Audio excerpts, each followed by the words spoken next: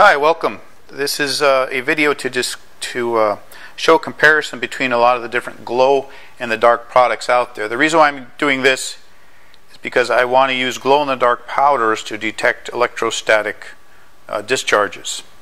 And one of the problems I'm running into is I don't know. I had no way to compare them. There's no like way of you know like uh, like with at least with LED flashlights and things like that. They say this has so many lumens or whatever, so you have some kind of comparison.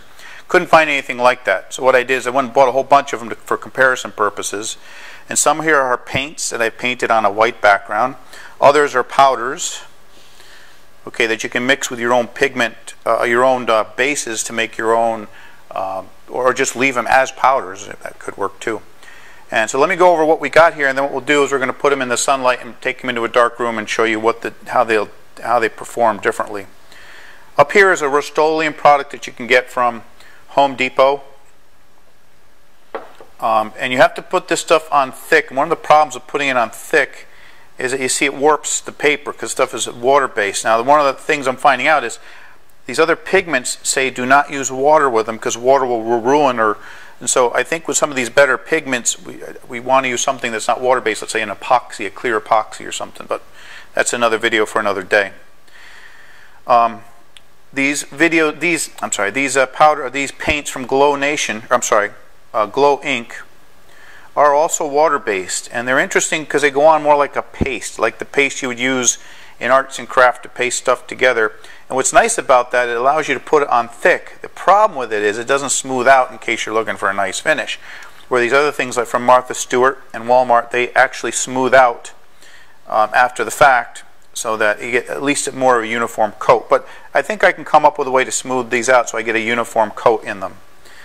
Um, anyway, this is uh, the glowinc.com, and this is their green V10, which is supposed to be their best. Then their ultra blue, pure blue, white, and purple. These colors show up in the, in the dark. Here's Martha Stewart.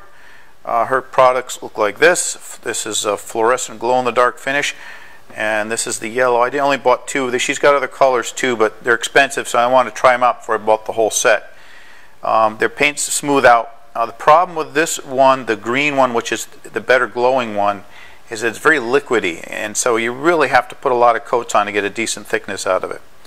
The paints from Walmart look actually better and brighter in the bottle, and um, this is their Walmart Folk Art series of paints, and they've got green, magenta, and yellow. These two yellows are the same. I just put a thicker coat on this one, see if I get more glow out of it.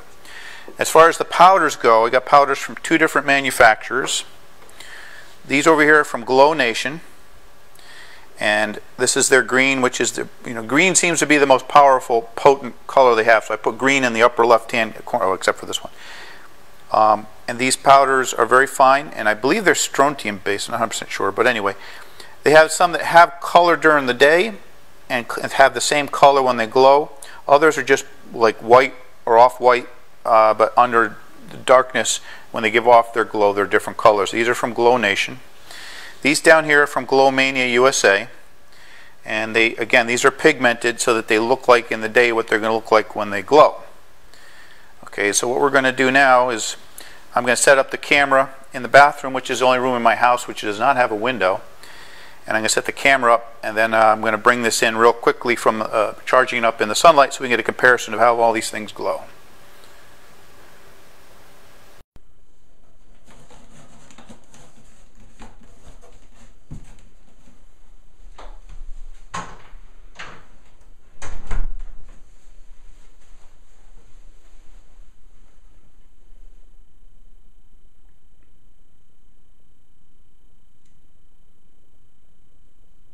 Uh, and you can see here that they're all glowing very bright. It looks actually brighter in the camera.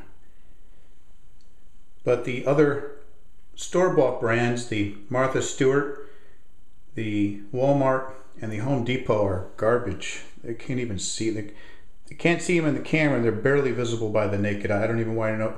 Don't even know why they sell that garbage. So the stuff you get from the online sites is a much much better quality stuff. The green is absolutely fantastic. And this color here looks a little bit more like white. Um, It's actually aqua. This is supposed to be the white. Um, in the camera, the color is a little off. This is a little bit more like a swim pool green. Um, that's about the right color. These are about the right color.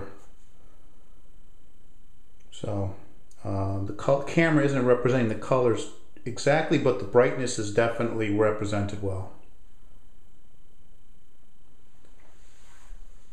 So if I was going to use one for a sensor, it would probably be this guy up here or this guy here.